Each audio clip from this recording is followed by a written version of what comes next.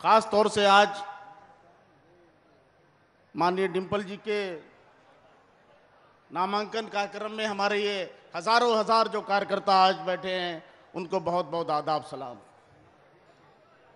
बहुत छोटी सी बात करूँगा, हमें आपको अपनी तैयारी बहुत मज़बूत रखनी है।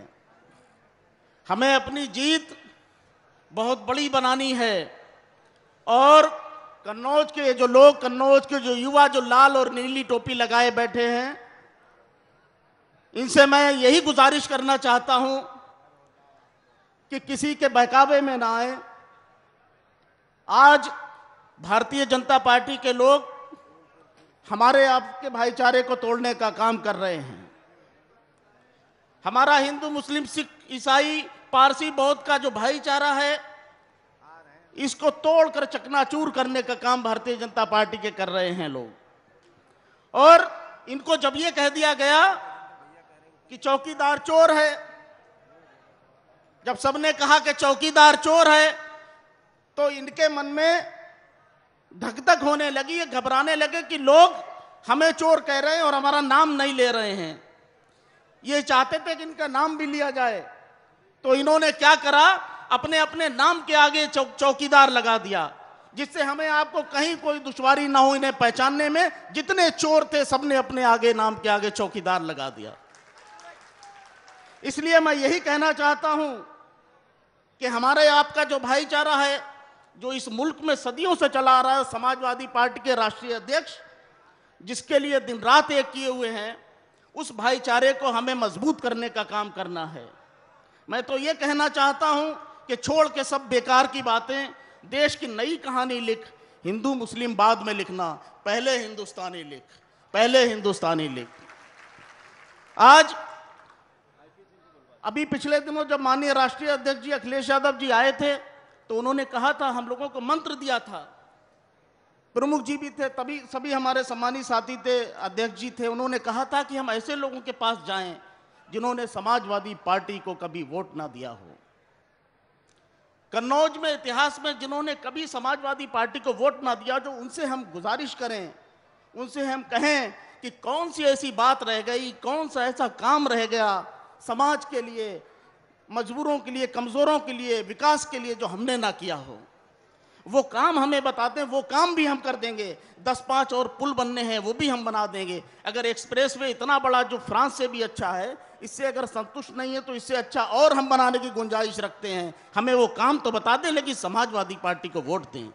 आखिर क्यों नहीं वोट देना चाहते? उनसे ये पूछ लें। अगर विकास के लिए ही आपको सांसद चुनना है, विकास वाली ही सरकार चुनना है तो माननीय अखिलेश यादव जी में, माननीय डिम्पल यादव जी से अच्छा कोई और हमें आपको मिलने वाला नहीं है।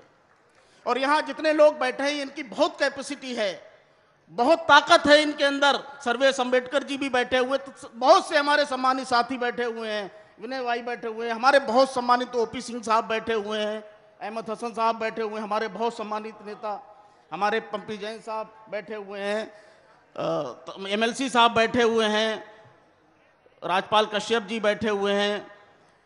इन्हीं सब बातों के साथ, इस बात के साथ कि वक्त बहुत कम है, हम सब यहाँ माननीय राष्ट्रीय अध्यक्ष जी को सुनने के लिए आए हैं। इनकी बुलेट ट्रेन तो हमें मिलने वाली नहीं है भारतीय जनता पार्टी वालों की, और इन्होंने जो स्मार्ट सिटी बनाए थे, वो भी कहीं इन्होंने छुपा के रख लिए। ये हमारे तीन लोगों के गठबंधन को क्या कहते हैं कि कैसा गठबंधन? हमारा ये ईमानदारी का गठबंधन है। गरीबों के लिए गठबंधन है, हमारे आपके लिए गठबंधन है।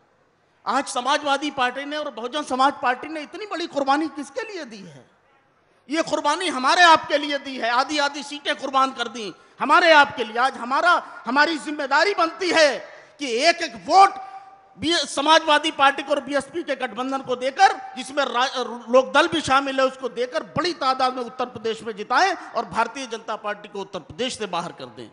और कन्नौज से हम सब ये निश्चय करते हैं कि कन्नौज से हम देश की सबसे बड़ी जीत दिखा, जिताने की कोशिश करेंगे। देश की सबसे बड़ी जीत। इनका तो ठगबंधन है चालीस से ज़्यादा सीटों का।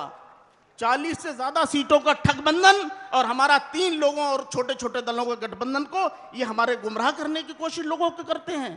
मैं इस बात के साथ कि राह दुश्वार से गुजरो तो खबर कर देना, गम के दरिया में जो उतरो तो खबर कर देना मैं अपने लोगों से कहना चाहता हूँ, तमाम हमारे तमाम अपने लोग कन्नौज पार्लियामेंट के, कि राह दुश्वार से गुजरो तो खबर कर देना, गम के दरिया में जो उतरो तो खबर कर देना, मैं चला आऊँगा, ये दैरीना मोहब्बत ठहरी, तुम अगर टूट के बिखरो तो खबर कर देना, तुम अगर टूट के बिखरो तो खबर कर देना। जय समाजवाद, जय भारत, खुदा हाफिज। I P Singh.